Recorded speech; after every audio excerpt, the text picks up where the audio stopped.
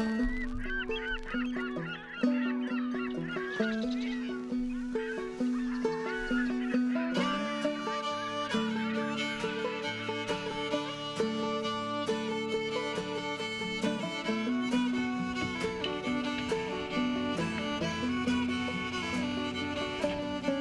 my grandfather uh, introduced me to fishing when I was a little kid, and as soon as I was able to walk, I was going on a boat, and you know, me and him, we spent a lot of time together.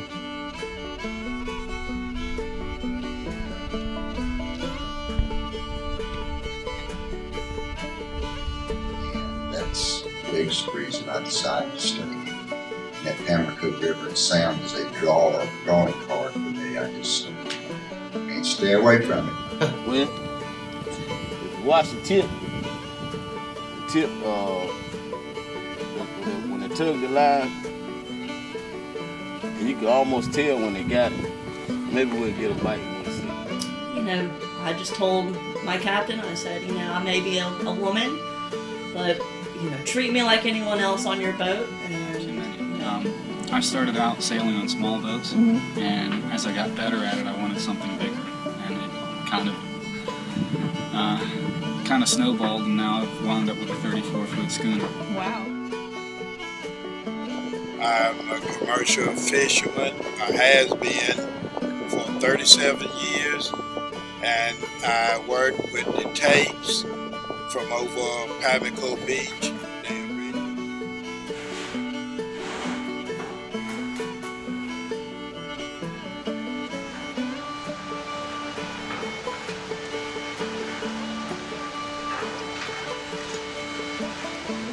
I got into fishing around 17 years old.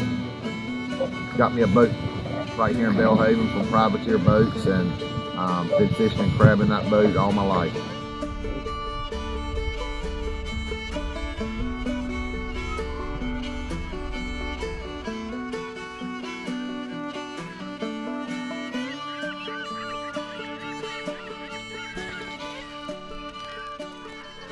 Um, just just love the water and, love what's in it.